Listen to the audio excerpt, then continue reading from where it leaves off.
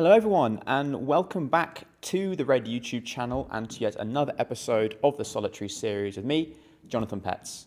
I want to thank everyone for tuning in for the first couple of the returning Komodo Solitary series. Uh, really excited just to flood you all with uh, Komodo content.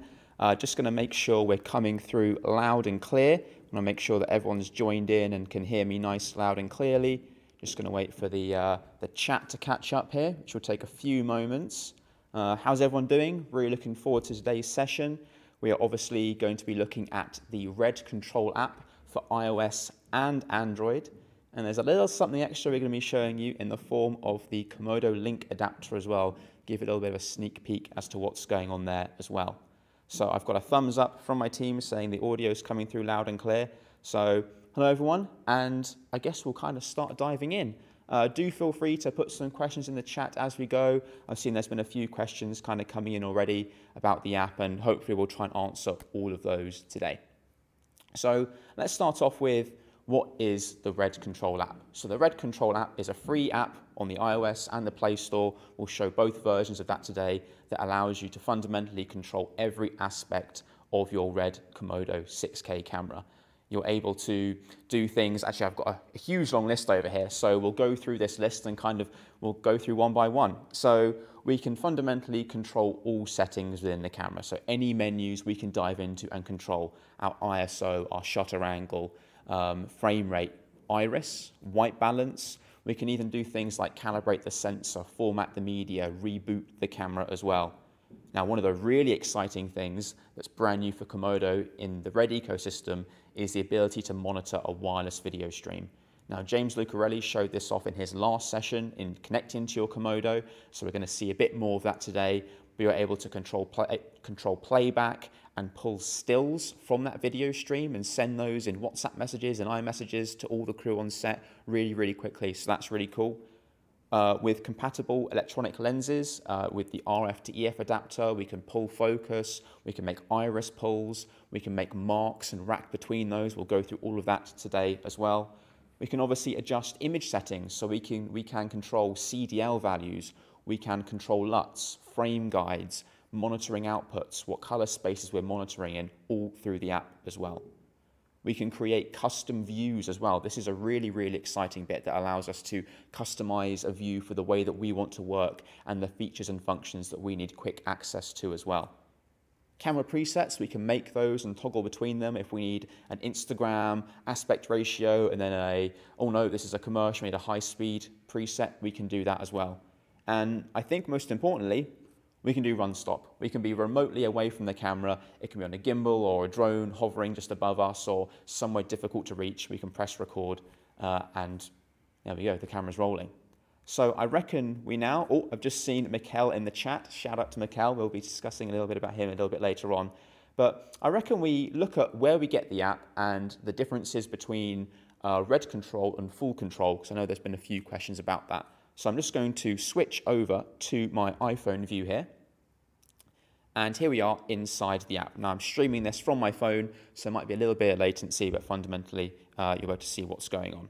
So to download the Red Control app, it is free on the iOS and Play Store. Um, just search Red Control, you'll see it right there at the top.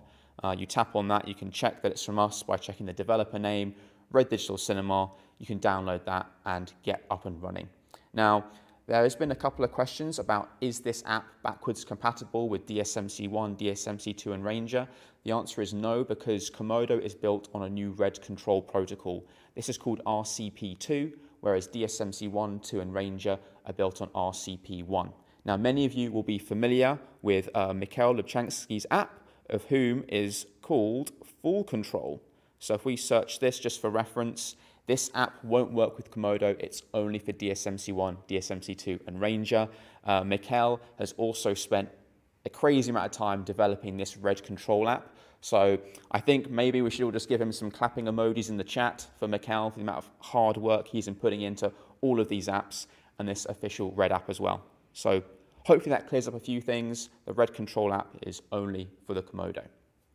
So let's, let's go back into the app and, and start going basically. So those of you who want to um, connect at home and follow along, I would definitely suggest you go watch James Lucarelli's last session about connecting to your Komodo. This will show you all the ways with ad hoc, with infrastructure, connecting through a laptop, all those things to connect to your Komodo. So I'm going to skip that and I've already connected to my camera on an infrastructure network. So on this main page, this is where we can see all the devices that are connected to the local network. Um, if I had multiple Komodos, I could bounce between those Komodos and go adjust settings as I would like.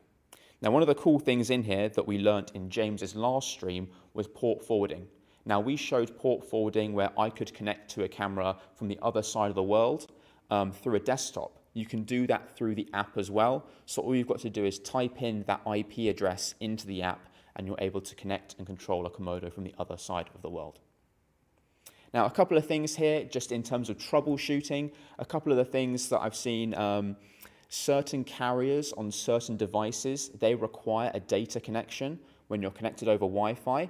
And obviously, because there's no data connection here, if you're in ad hoc mode, the camera may not appear. And this is carrier and device specific. So if you're trying to connect to the camera and it's not working, go into airplane mode and hopefully then you will then be able to connect. And nine times out of 10, that is what the issue is. The next one is, oh, I'm not getting a video feed through uh, to my phone app. I'm just going to switch over to my camera here. And to ensure that you're getting a video feed in, go into your monitoring settings, go into live stream, and just make sure that that's enabled. So we'll just back out of that. And now we're basically ready to go. Now, I've seen a couple of questions about range and those sort of things. Now, range is obviously very dependent on the environment that you're in. If you're in a heavily congested area, your range and connectivity and latency may vary. If you're in a very wide open area, no interference, again, you may see better results there. So definitely check with your IT team. I know on certain jobs I've been on, certain Wi-Fi bands were allocated for certain departments. So DIT might have their own Wi-Fi band on the 5 gigahertz spectrum to ensure that the phone and the camera are constantly connected and there's no interference there. So just a couple of things to think about uh, when you're going out there and if you're relying on the app consistently, definitely make sure you've got a clean band or as clear as possible. So let's get right into the app. We've gone through those little bits. Let's start having a little play and diving into some of the features. So I've tapped on the I've tapped on the camera there that I want to connect to, and here we are. We're seeing we've obviously got a video stream. Just going to wiggle my fingers in front of it there, and this is kind of our main overlay. This is our, our like home page of just of settings that we kind of felt everyone needs to get access to pretty frequently. So we can do things like change our ISO. We can tap in here and you can see just how quickly we're changing between all those different values. We can change our resolution. As I said, we can also press record and record some frames. We can view things like the temperature of the sensor. We can toggle our log mode on. We can toggle our peaking, our false color.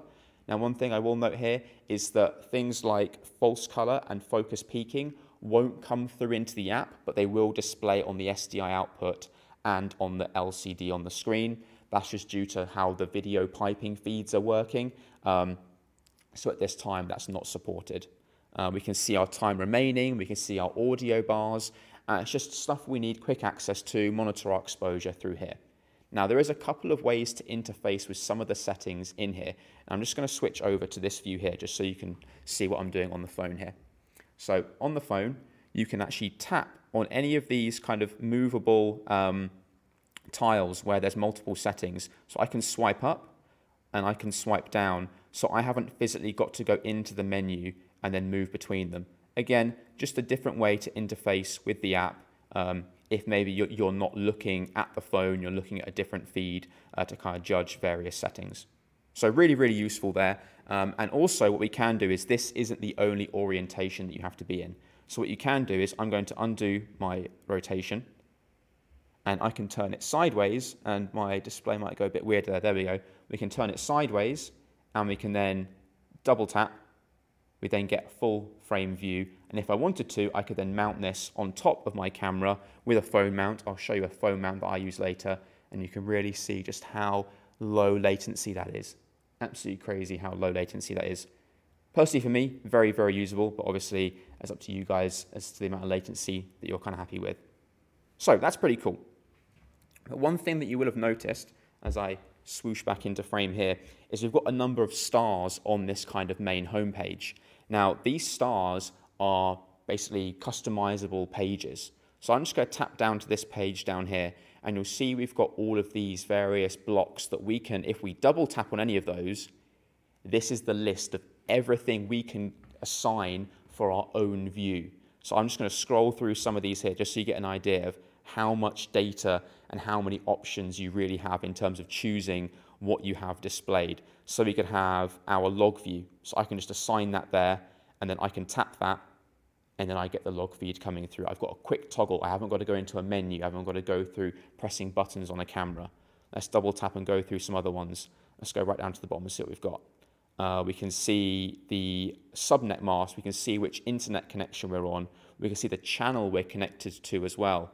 Um, we can toggle magnify. I saw a question earlier about magnify actually. And with the magnify, you can't magnify in the app, but when you magnify, you'll see a little box and you can move that around. So what we'll do is we will come in and we'll turn on LCD magnify. So I'm going to assign that to a button there. And if I turn on LCD magnify, you see that little box has come up. Now, if I tab over to this screen here, you see that we've magnified. Now, I can move that box around and you can see what I'm doing there. So that's how the magnify works. You can't, you know, uh, view a magnified feed in the app at this time. So let's just come out of that LCD magnify. We've come back there. So I've already made a couple of presets just to show you kind of what's possible. But what I think would be really cool is when you guys get the app, when you get your cameras, or those of you who already have the cameras, take a screenshot of your custom pages and tag us on Instagram, Red Digital Cinema, or send us them, solitary series at red.com, and me and the team will go through some of them and find our favorite ones, and we'll share them in the next session, because I'm sure you guys will come up with some really cool overlays that are probably way more efficient than kind of what I've come up with. So let's go into my first one here. Um, I used to work as a DIT, so the first one I thought of was if I was working as a DIT, what would I want quick access to? So I'm seeing things like my power information, how much battery is left, what is the time remaining on the card, and how long until I've got a shout at the AC and the DP. If I've only got a minute left, can we reload, please? Um, camera ID, if I've got multiple cameras on set, which one am I connected to? Oh, A cam, okay, perfect. I should be on B cam, I'll switch over. I can toggle things like my false color on. So if I'm monitoring in my DIT tent, I've got an SDI feed coming in, I haven't got to run over to the camera to enable false color. Obviously, we can't view it in the app, but at least on my SDI feed, I can be toggling that very, very easily. I've got my exposure um, raw indicators. That's always super, super useful. Um, and then for me, especially changing lookup tables very, very quickly. So a DP might be like, oh, can we get our night interior LUT, please, Johnny? I can then come in very easily, change the LUT. I can turn the LUT on and off for them on the fly. Haven't got to run in there and mess about with menus. So that's really, really nice. Let's go back to my normal LUT there. Sensor temperatures. I've got a snapshot as well. Now the snapshot is really, really cool. Um, this is one of the things I think was probably one of my favorite features when I found out about it. And this is basically the ability to take an image from that feed and have it saved to your camera roll. So what I'm going to do is I'm just going to put my hand in the frame here. I'm then going to take a snapshot. And then when I go back to my photos, you'll see that image has then saved there and I can then send that off to a DP, send it off to an art director for some references. Maybe if we're on a location scout, um, a location scout could be connected to the camera and just pulling images from the camera and not having to take photos on their camera. So again, there's so many really cool things you can do with this. Obviously, if you're working on a, on a big budget Hollywood film, ensure you've got permission to take stills from that feed, but it's still something that's super useful to have. Other little bits here, jam time code. I can check the actual time code itself. I can view the clip name and also save a log. You know, in the event someone knocks the power by accident, pulls a cable out, and I wasn't sure what went on, I can save a log without having to run over to the camera. Or in the event there is an issue, there's many times where I've forgotten to go save a log, and I can just tap this button here, and good, I've got that log saved. I can do it fully remotely. Now, the cool thing here is the presets. So I've made a load of preset buttons that I can switch between very, very quickly. So let's say, for example, I've got my, we're shooting 6K um, open gate, so 17 by 9. We're shooting 240 to 1 frame guides, and we want other ones that we can quickly bounce between. So a high-speed widescreen, so 6K 50 FPS, then a 4K 60. Maybe I've got some weird aspect ratio guidelines for a VFX shoot where they want a one-to-one uh, crop or something, or they want a Instagram 4x5 feed. I can have all of these guides and move between them very, very quickly. I can also view more than that. I can view all of them that I've got saved in the camera as well. So again, super, super flexible. Another one that I've kind of thought up was, was as a focus puller, as an AC. If you're an AC and you're working with the camera, what am I going to want to be using? Eject media, secure format, reboot the camera. I can get into playback here as well. I can view the lens focal length that I'm on, the iris if we're using compatible electronic lenses. I've got my SDI magnify and my focus peaking. So if I'm getting a wireless feed from a Teradek, I can then toggle peaking from the camera and not have to do it on my monitor if I don't want to. And again, fan control, I can roll from here as well, and I can also obviously make adjustments to those presets. I've just seen Stephen. Can you talk about the Komodo Link? We are getting to that, don't worry. You can see it's mounted to the camera. We'll, we'll, we'll do that at the end. I know everyone's excited about that. So that's kind of the customizable pages. Now you can get some extra buttons. So maybe you don't need the video feed because you're monitoring an SDI feed. You can tap the purple squares in the top right hand corner and you get a load of extra buttons. So if I come down to my preset here, you can see I can come in and I can add a whole new extra set of buttons. So I can come in here and let's just have, let's just pick one, um, camera info. I can assign that to an extra set of buttons at the very top as well. So let's move on to some of our next tabs. So in this tab, this is kind of our image overlay, image preview, image settings pane. And I'm going to start with the coolest thing here, and that is stream overlay. So what this is, is it's basically the ability to overlay a PNG file on top of the stream that the phone's seeing. So this is super cool if maybe you're a splinter unit or you're going back to reshoot something and you want to make sure your frame is exactly lined up. You can export a PNG file, import it into the app, and then overlay it to ensure you're lined up exactly perfectly. Now, some of the examples that are preloaded into the app are mainly frame guides. So if we kind of scroll down here, um, you can see I've got my Fibonacci sequence, I've got Cheops, Nexus, that's a pretty crazy one. Um, and again, we can choose the opacity of these as well. So if you want thirds, vertical thirds, different opacities, you can do that as well. Or you can press the plus button there and you can import a PNG of your choice and overlay that onto the stream. So let's start moving on through the rest of these. So I'm just going to exit out of that. I'm going to press none because I don't need those. We can change our live stream quality here. A lower live stream quality will mean less latency, but obviously a lower image quality. A higher one will mean a higher image quality, but potentially more latency. Another cool one here is the CDLs and lift gamma gain. So I can enable this, and when I tap on CDL, it's basically like I'm working in Resolve. Obviously, I don't quite have my physical, um, you know, tangent ripple kind of suite, but you know, if you're that way inclined, you can come in and you can make adjustments on the fly should you want to. Now, you're shooting a raw file, so it's all metadata. If, if you really like doing that and you kind of want to do CDLs on the fly, that's a super cool way to kind of come in and do it. And again, I can back out of this. I can go into lift gamma gain if that's the way I want to work. As you can see, I can kind of bring down the exposure there. I can stop that there. Again, reset it all. It's all metadata at the end of the day.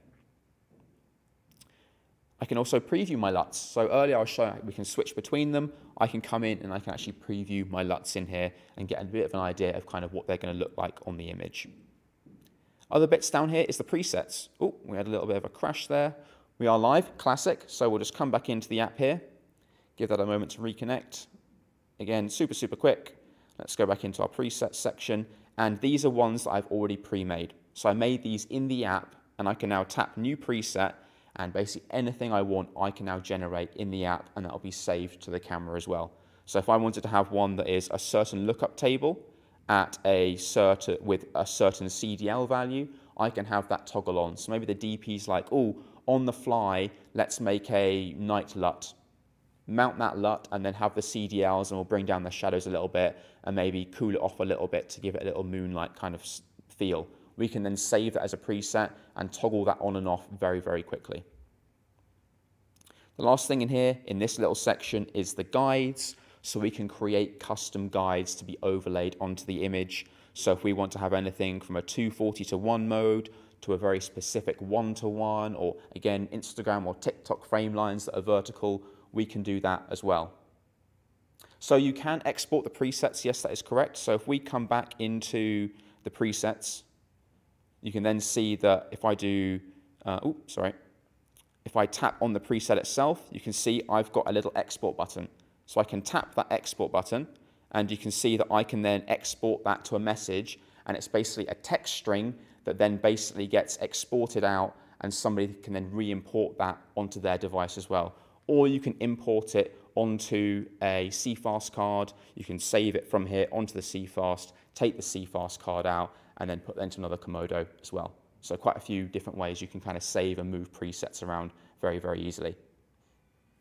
So let's come out of this and let's move over onto audio.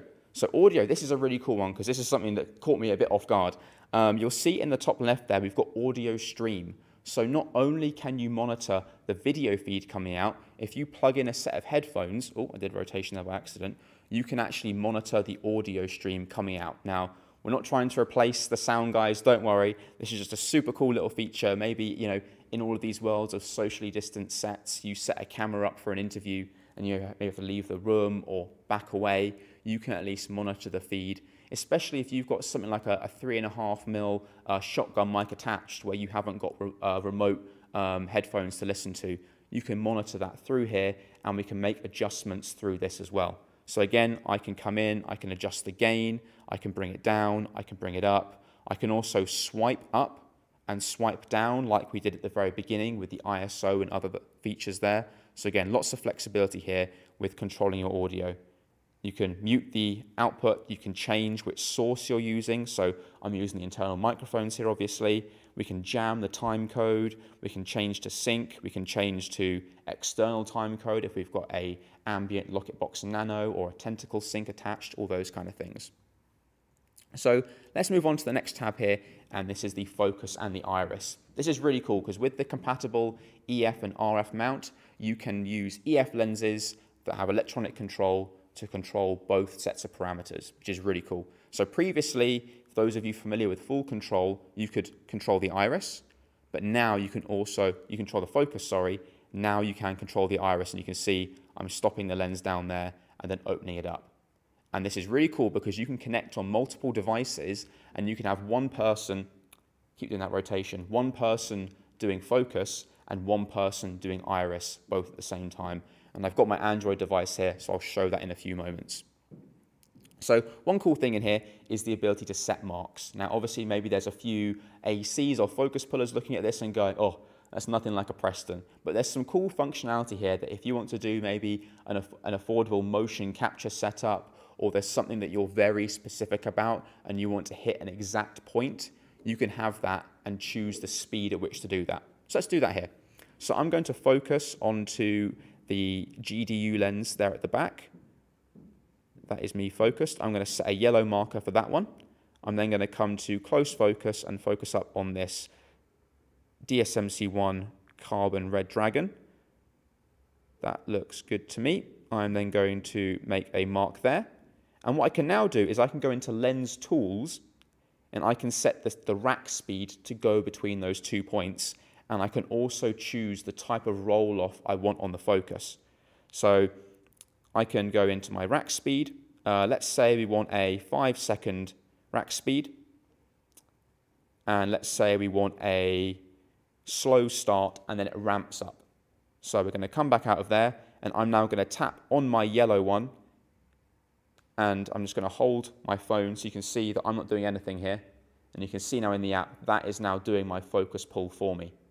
Now I can make it faster, I can make it longer, but you can see now that has now pulled to the lens at the back there, all done for me. Same goes for iris. I can come into iris, I can set a mark here, I can then set a lower mark here, and again, I can tap that, and over the course of five seconds, you can see no cheating here, the app is then controlling that iris pull for me.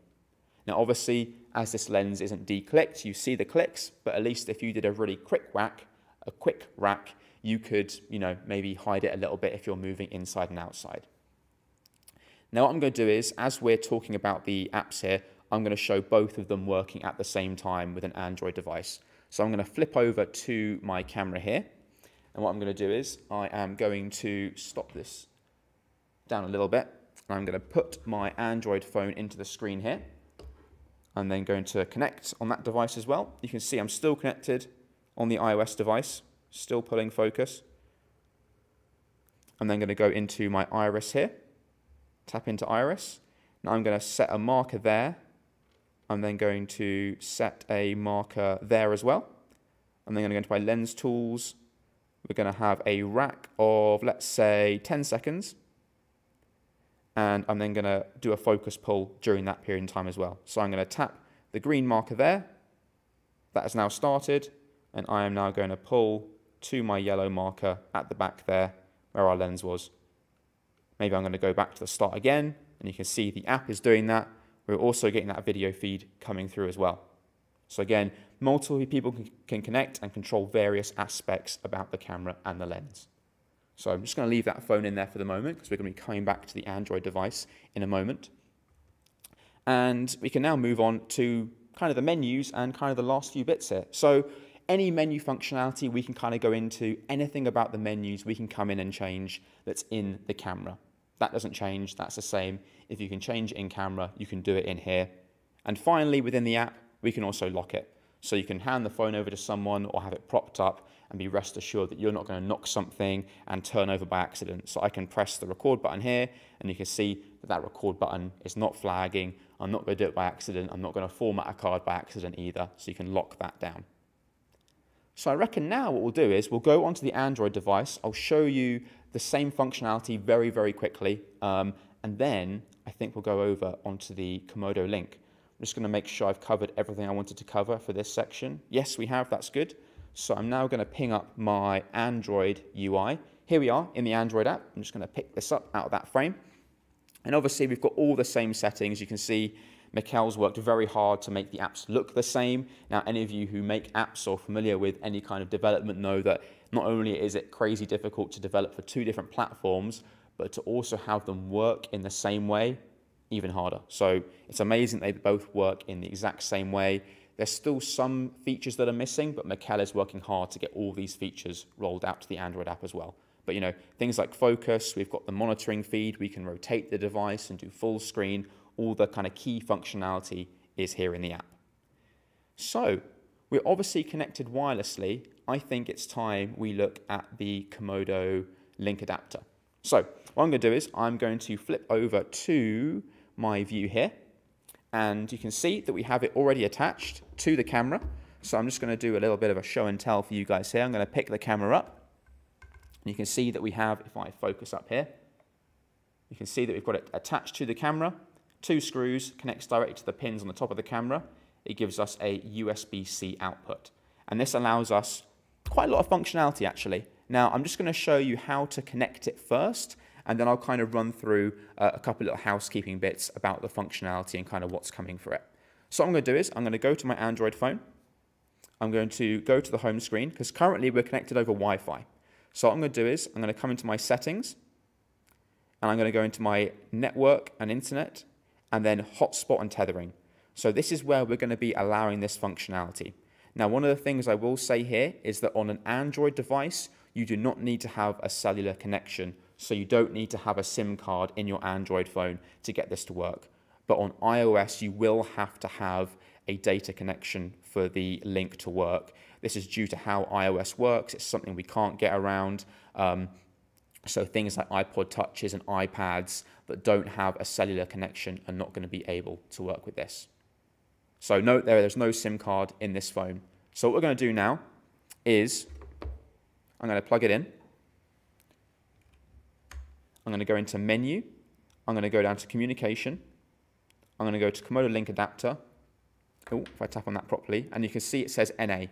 Now, what we're going to be doing is enabling USB tethering. So as soon as I plug in this cable into the phone, you'll see USB tethering gets enabled. So I plug that in, USB tethering then ungrays itself. I can then tap on USB tethering, and now we are tethering between the Komodo. You'll see in a moment an IP address pings up. That confirms to us that we now have a connection between them. So let's back out of this and we're going to go to our home screen. We're going to go back into the Red Control app and we're going to do rescan.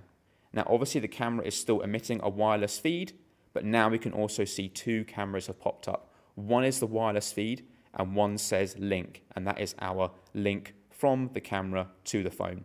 So I'm going to tap on that now. That will take a moment to connect.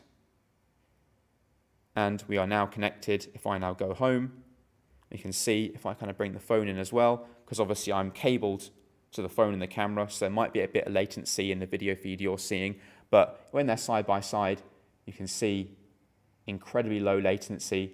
Any of you who have tested it, you know, with wireless, every now and again you may get a bit of breakup, but with this hardwired solution, look at that really, really low latency there. So if you're in a very tricky situation where there's a lot of heavy network usage and you can't get to work because of how congested it is, a cabled solution could be fantastic.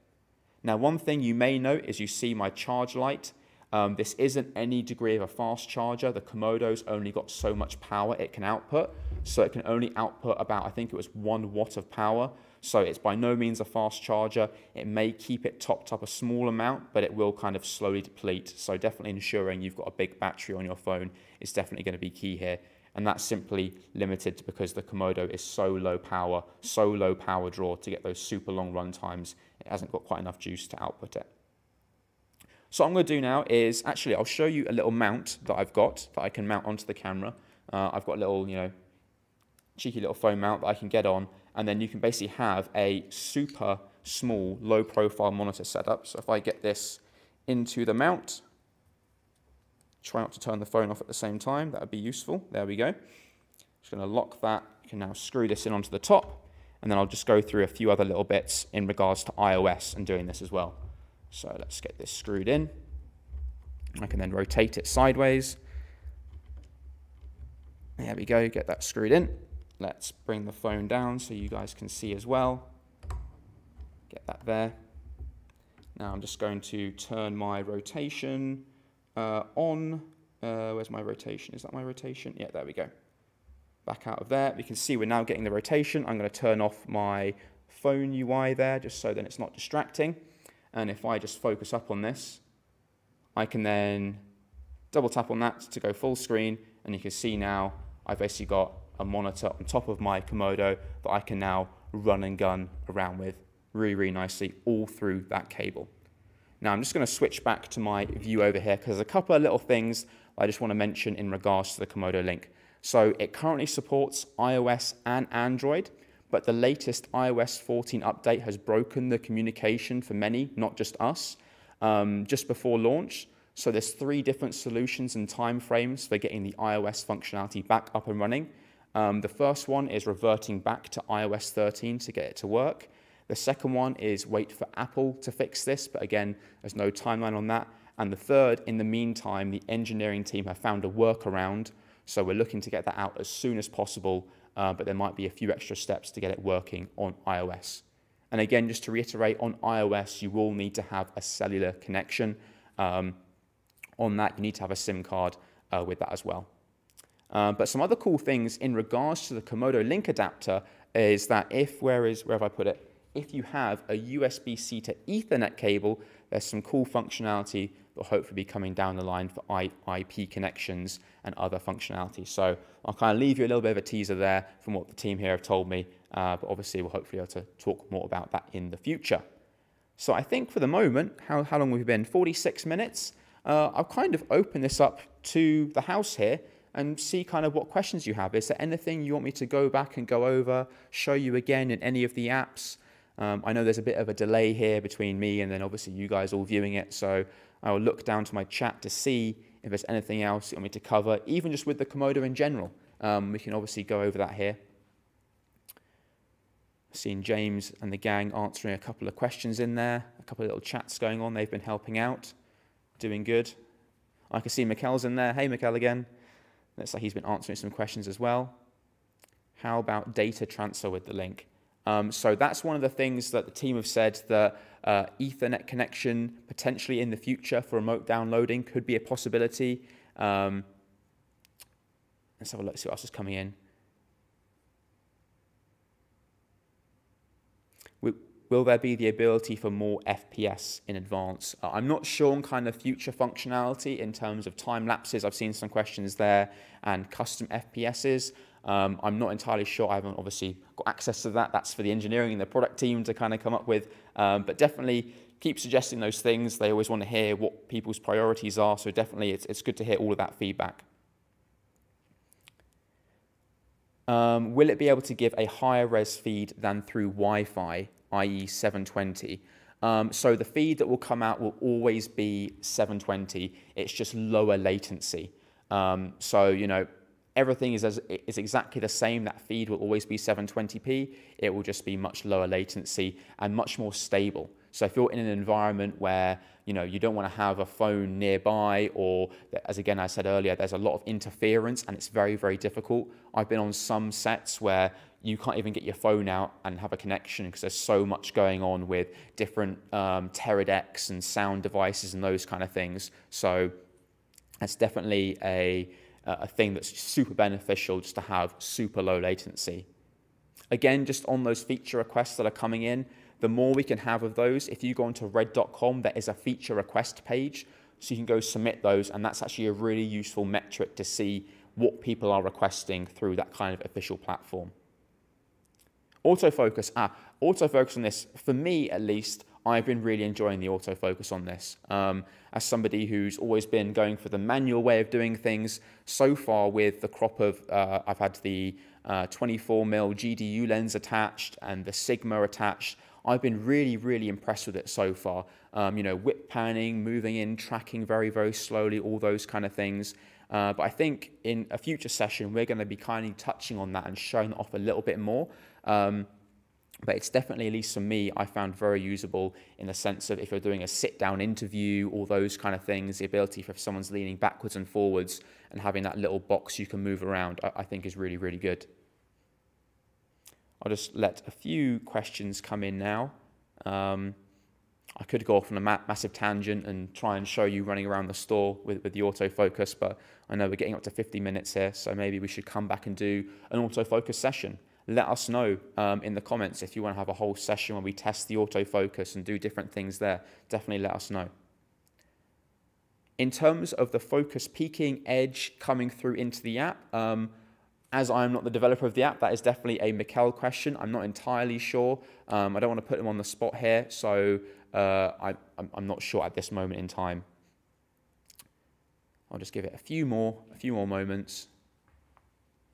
Will the autofocus of the Komodo come to the Gemini? So the difference here is that the Komodo sensor has the PDAF or the phase detect autofocus points built into the sensor. It's actually a sensor design. It's not a software thing. So sadly, it can't come to any of the DSMC2 Ranger or DSMC1 systems. This is the latest tech built into the sensor. AF session, definitely. Okay, Luca, we can definitely get that, get, get that on the list. We can do some cool tests with that. Maybe get James running around with uh, doing a surfboard or with his dog or something. Um, but I think we're seeing I think I hopefully answered everyone's questions there. Um, obviously, feel free to drop some comments down below. Oh, one more may have come in. Uh, production Komodo. Oh, just some ordering Komodo questions. Um, but yeah, drop some comments down below for what you want to see, or drop us a um, uh, an email, solitary series at red.com with what you want to see next. We definitely want to hear about what you guys want to do.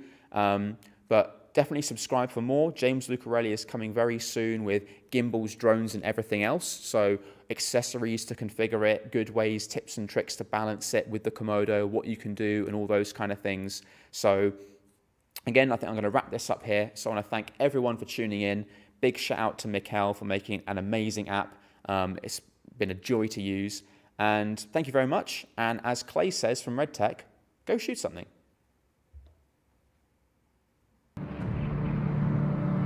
There's one thing I love as much as shooting movies. And that's riding Harley Davidsons. So when Red approached me to test their new camera, the Komodo, in extreme conditions, I said, hell yeah. There is a gathering of hardened riders who come from all over the world. Beasts of the cold who wait all year for the snow and ice. Vintage as the bikes they ride, they're known as the Frozen Few.